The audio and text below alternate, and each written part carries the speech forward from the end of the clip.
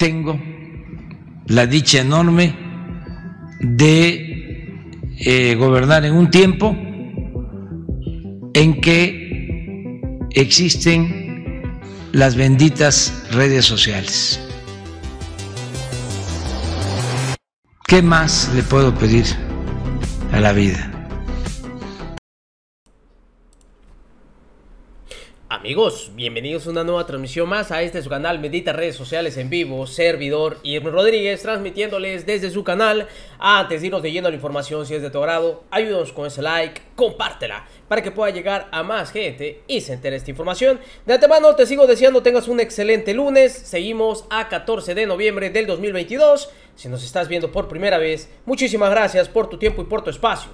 Solamente pido el apoyo con la suscripción para que cada día podamos ser más en esta gran familia de las benditas redes sociales. Señores, el día de ayer creo que quedó más que evidente que esta marcha, que tenía con su único afán defender al INE, se volteó a una marcha que bien han denominado como la marcha del odio.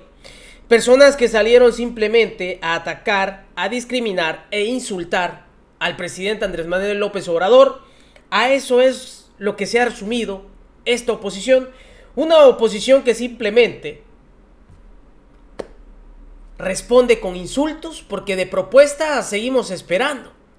Y qué bueno, qué bueno porque vemos que esta, pues esta etapa de la transformación que se está llevando ha llegado a un punto que ha tenido que llegar a que estos de la oposición tengan que marchar ¿Cuándo ustedes habían visto marchar a un expresidente? Y a otro que desde las redes sociales prácticamente hacía lo mismo. Vimos a dos del PAN, que fue Vicente Fox y a Felipe Calderón, hacer de las suyas. Y todavía de una manera cínica, ya vieron cómo la gente recibía a Vicente Fox, que dicho sea de paso, hasta dijo que si el presidente Andrés Manuel López Obrador aparecía en la próxima boleta, él también lo iba a hacer. Ah, caray. A eso se han reducido. Sobre todo cuando vimos que fue uno de los presidentes que ayudó a que se consolidara un fraude en el 2006 poniendo a Felipe Calderón. Y sabemos la historia de lo que se desarrolló después de esto. Simplemente, señores, hemos visto cómo ha decaído toda la oposición y cuando decimos toda la oposición, también tienen que ver estos medios de comunicación. Ante una marcha en la que decían ellos que habían ido aproximadamente casi un millón, porque así lo manejaban algunos medios de comunicación, háganme ustedes el favor, un millón. No, hombre.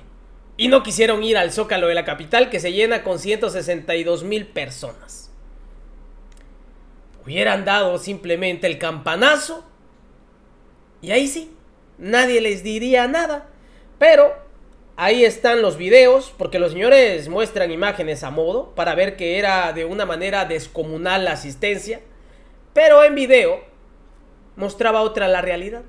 Ya mostré varios ejemplos ahí en su canal de Pregonero Informa y en el de Pregoneros.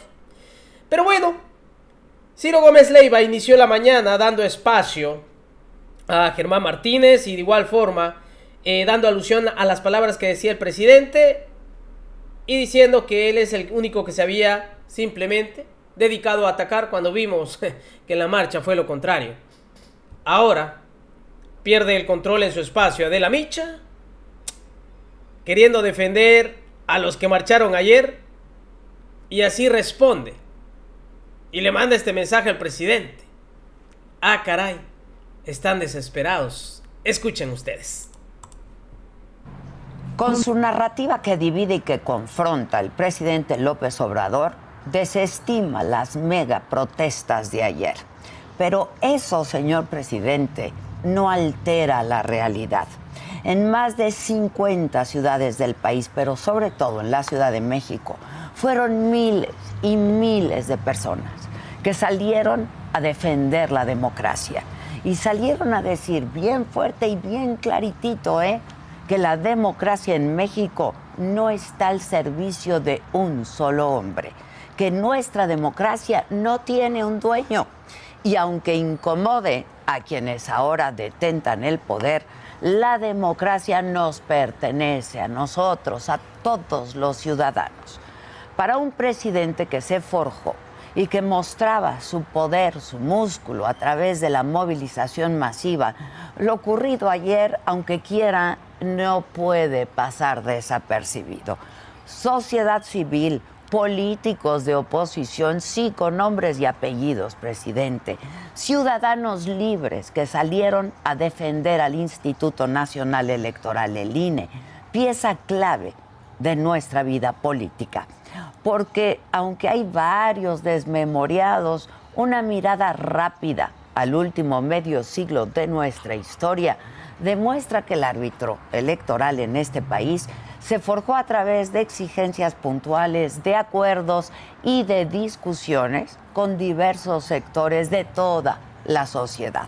En resumen, con visión de Estado. Porque era eso o seguir por la senda de un régimen cerrado y encabezado por un partido hegemónico que centralizaba todo el poder. Y justo hacia allá es donde pretende conducirnos la reforma electoral del presidente. Pero el mensaje de ayer, insisto, fue claro.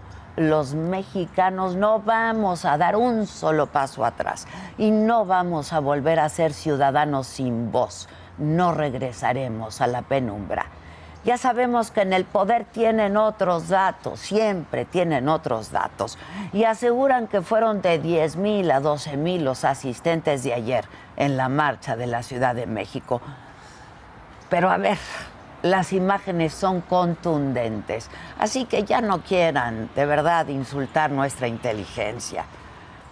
Como no pretendan tampoco revestir de positiva una reforma electoral que busca minar la representación política, empoderando a los partidos políticos más que a la ciudadanía. Y no nos quieran vender como democrática esta idea de que elegir por voto directo a los consejeros del INE será mejor, porque eso, eso solamente va a provocar que su lealtad esté con el poder que los impulse y no con nosotros, con la ciudadanía. Basta ya de que la confrontación sea su único lenguaje, presidente. La polarización no puede ser su única herramienta de comunicación todos los días. La democracia no puede ser vista como la debilidad de un gobierno. La democracia es la fortaleza de toda una sociedad y socavar al árbitro electoral va a tener consecuencias para generaciones futuras y los daños podrían ser irreparables. Con cuatro años en el poder, el presidente ha capturado a varios organismos autónomos, como la Comisión Reguladora de Energía o la Comisión Nacional de los Derechos Humanos, y todo sin mayor consecuencia. Pero el INE, el INE es una pieza central del ajedrez político. Y por eso las protestas de ayer son tan importantes, porque el mensaje es que los mexicanos no vamos a dejar que la pieza del INE caiga ni se convierta en rehén de nadie. El INE es la institución que ha costado a toda una generación forjar y profesionalizar. Es la misma que avaló el triunfo de quien hoy pretende debilitarla por eso fue clave que los mexicanos salieran a las calles. Claro que nuestra democracia es perfectible, siempre lo hemos dicho, pero reformarla no puede ser un capricho, ni puede hacerse a unos meses de una elección presidencial. Ajustar nuestra democracia requiere de un debate amplio donde estemos todas y todos los ciudadanos incluidos y representados.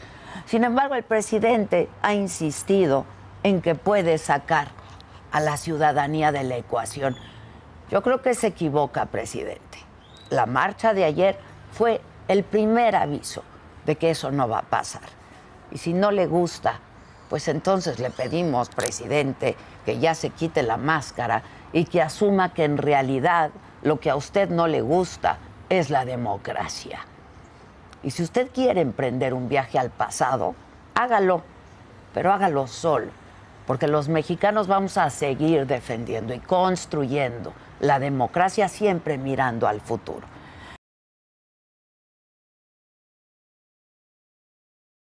Una disculpa. Ah, caray, ahora resulta ser que no quiere seguir viviendo en el pasado. Más bien, los que quieren seguir viviendo en el pasado son ellos. Sabemos que estos consejeros en su momento han servido a estos partidos de oposición. El claro ejemplo fue con Ugalde, quien fue el que simplemente avaló ese fraude por parte de Felipe Calderón, en el que se nombró presidente. Y sabemos que el que mueve los hilos es José Waldenberg. Y después se designó a al que ahora es el consejero presidente, Lorenzo Córdoba, y siguen haciendo de las mismas. Más bien los que siguen viviendo en el pasado son ustedes. Y obviamente, con estos medios de comunicación a modo, que les aplauden todo. A nadie van a engañar. Les invito, aprovechando, porque el diputado Sergio Gutiérrez Luna dejó en la lona, puso en su lugar a Ugalde en una entrevista que tuvieron de cara a cara.